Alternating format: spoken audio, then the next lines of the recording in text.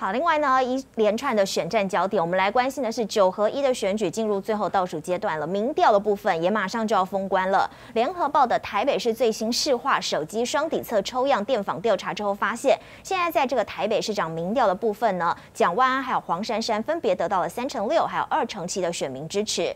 目前呢，陈时中的支持度来到了百分之二十。此外呢，有将近半数的北市选民最不希望看到陈时中当选市长，这个比率远远高于。蒋万安跟黄珊珊，好，但是其实呢，民调越来越多都已经出炉了。但是呢，我们还要来看到一份民调，这是中广跟盖洛普公司所发布的。蒋万安获得了百分之三十四点二五的支持度，领先陈世中的百分之二十二点七九。好，至于在这份民调当中呢，黄珊珊则是排名第三名。根据推估，全台的旅外票大约有二十八万人，因为疫情影响，两年没有回到台湾，因此被取消户籍，所以不能投票。蓝军因此痛骂了。政府试图影响选举。选举倒数，台北市宣政进入白热化。根据中广和盖洛普的封关民调，国民党蒋万安支持度百分之三十四点二五，碾压对手陈时中的百分之二十二点七九。黄珊珊则是百分之十五点六，排名第三。加倍努力，争取市民的认同。我们要努力到最后一分钟。封关的民调显然就只有三个字。不是盖离谱，就是极其可笑。第三名的部分一直都是陈世蓝绿对决已经形成了，而且更加强化，是他的支持度就是很无情的被撕裂。同一份民调，九月底蓝绿差距百分之八点零四，到了现在拉大到百分之十一点四六，蓝绿开始归队，但一向挺民进党的年轻族群却没青睐陈时中。票投民进党青年上战场，二十到二十九是立刻面临要战争，是第一批被要争取的。民进党一再打的抗中保台，得不到年轻人的认同。受疫情影响，两年没回国的国人，若想投票，得在今年的七月二十六号前回国，否则遭迁出户籍。推算约二。十八万国人无法投票，其中影响最大的是双北，约十三万人没办法投票。民进党就是典型的民主下的独裁，就民进党对自己没有信心，就是台商哦，大概回来都是要投这个国民党的哈。那全世界都在通讯投票，他不准，再把你户籍除掉，这种拉萨包，他以为他可以赚到赚到便宜。选举进入割喉战，政党每一步的背后都充满算计。记者谢红如、陈怡蓉特别报道。好，我们来看到国民党的台北市长候选人蒋万安，他其实多次要求卫福部应该要公开高端疫苗的采购合约，但是包含了卫福部还有指挥中心都以保密作为理由不公布。卫福部长薛瑞元呢，在帮市长候选人陈时中站台的时候，还反讽蒋万安自己自称是美国戏骨新创律师，却连保密协定的作用都不懂，难怪会被资遣。一自诩一恭喜戏骨的新创律师了，各位。新创是啥物、啥物、啥物东西、啥物碗糕呢？我来给大家报告一下。有个人足厉害，伊发明一项物件，伊感觉伊即个物件、即个产品有法度大大靠顶，伊会当卖足侪钱的，所以伊就家己去开一间公司。开了即间公司呢，目的是安那呢？伊要将伊即个发明。好，互别个人知影，伊就爱募资，募资就爱找人来投资啦。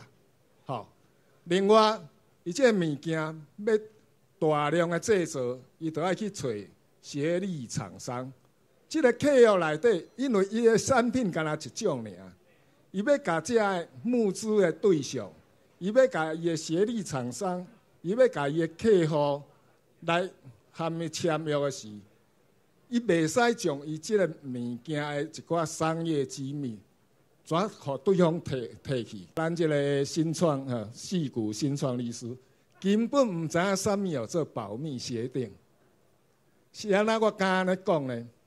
即个保密协定内底一定有一条，讲你若拄着法院要甲你调即个契约，还是讲主管机机关要甲你调即个契约，你爱安怎做？咱这新创的四股新创律师讲吼，啊，你都爱公开，所以伊会怎去用之前就是安尼。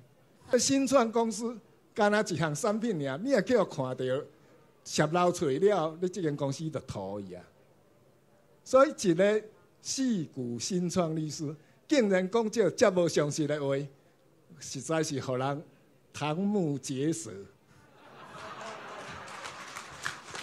小朋友不要学，正确叫做瞠目结舌。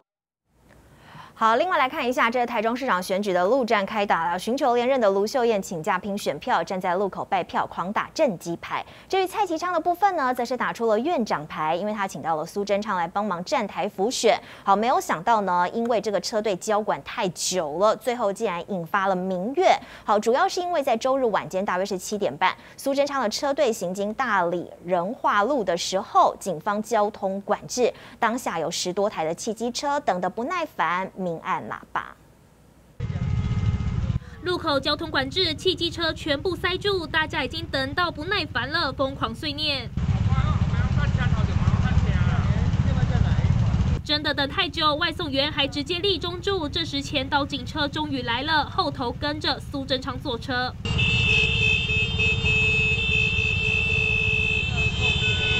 的官威，用路人活整个上来，全部按喇叭致敬。讲了一那么多警车，还以为在追什么？也不能怎样，我们能怎样？就是只能等待，心就想说到底在干什么？苏贞昌十三号晚上到台中大理为蔡其昌助选，所到之处必须交通管制。经过仁化路时，让汽机车等太久，引发民怨。